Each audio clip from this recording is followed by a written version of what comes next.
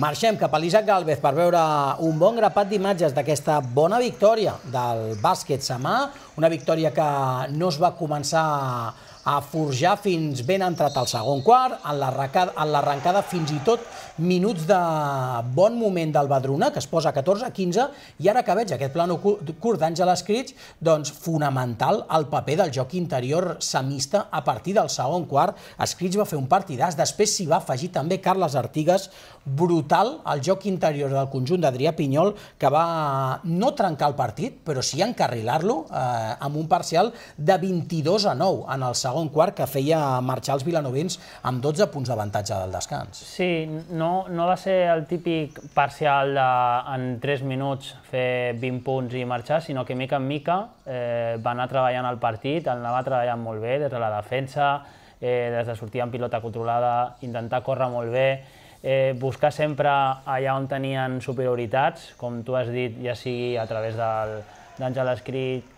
o ja Carles Artigas, i realment eh, va ser un partit eh, molt sòlid, però molt, en el qual sí que potser en l'últim quart crec que el Vendruna es fica a 10 o, eh, o està allà, allà, però... A, a mitjan del tercer sí, quart. A, sí, però no dona, a mi, veient el partit, no em va donar la, la sensació de que el Samà el pogués perdre. També dic una cosa, eh, el Samà es posa més 18, no? gairebé 20 punts de marge amb una bona arrencada del, del tercer quart. I quan el Badruna reacciona, que fa aquest parcial de 0-9, que pots pensar ai, ai, ai, clar, tres triples d'Arnau Carreras. D'acord, gairebé només aïllats i, i enmig d'un joc, d'una dinàmica de joc, on eren, on eren els visitants els que estaven millor. Però clar, tu sumes de 3 quan vas sumant i així fas que no eh, et tremolin les cames en cap moment. Per cert, un dels bons moments del Badruna és, per exemple, incloent aquest triple d'Alexander Schiffler, el ribetà, que aquest eh, estiu ha canviat d'aires i ha deixat el seu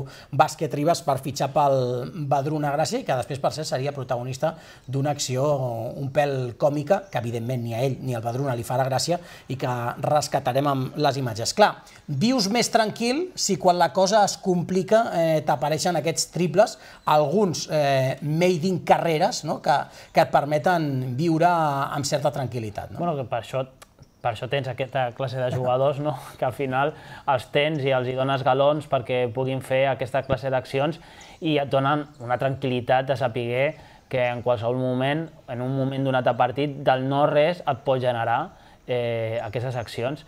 Però, però en totes maneres, eh, molt bon partit del Samà, eh, fent les coses molt bé i mica en mica donant el nivell de l'any passat eh, o aproximant-se al nivell de l'any passat, fent-ho realment molt bé fora de casa i, i molt correcte a, casa i això al final els donarà una estabilitat i es reflexarà en la classificació. Artigues i Esquits donant segones opcions. No va ser el partit eh, amb més encert des de la línia 3, encara que aquest acaba caient a, a Casoleta, eh, d'Ivan Trenado, però sí que és veritat que la sensació era bona. I aquesta és la jugada que et dic, on al final tothom es col·loca, perquè s'entén que és una falta clara del, del bàsquet samà, tothom ho, té, tothom ho té clar, va servir de banda, i de cop i volta diu l'àrbit, no, no, si te l'he pitat a tu en atac, xif, eh, al final no s'ho podria creure el bo de, de l'Àlex i, i fins i tot el consolava Adrià Pinyol amb un gest dient ja saps que a vegades els àrbitres ens sorprenen absolutament a tots. Partit sentenciat.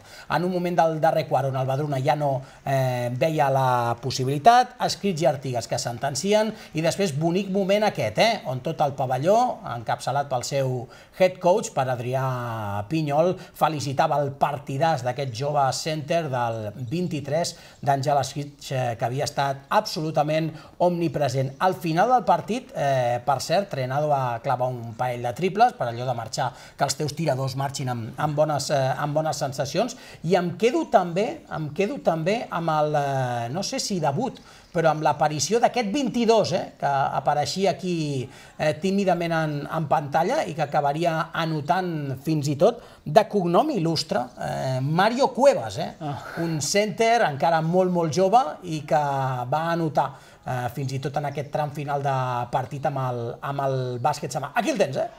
Rebotejant en atac per alegria de tota la parròquia del conjunt Vilanovi. Què me'n dius? Eh, home, doncs molt bé, molt, molt content de que comencin a sortir jugadors joves de la cantera del, Del Samà, Del Samà. tercera victòria Bueno, la tercera consecutiva, eh, molt bé, molt content del partit d'avui. Tornem a deixar a tot un rival com el Vedruna amb només 52 punts rebuts. Eh, a hores d'ara i després d'aquestes primeres jornades som la millor defensa de la Lliga i això diu molt del treball que estem fent.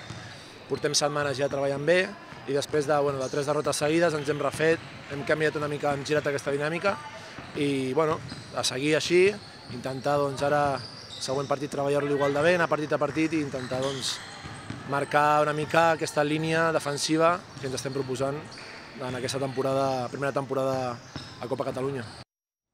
I ja que ho hem deixat d'entreveure, és el fill de Toni Cuevas, Sí, del filòsof, eh, el qual seguim a, en aquesta casa per tot el que fa referència al món del bàsquet. Encara t'ho has de guanyar, tu. Eh, som No, no, no, ell està un pla superior, però molt superior. el Messias. Eh,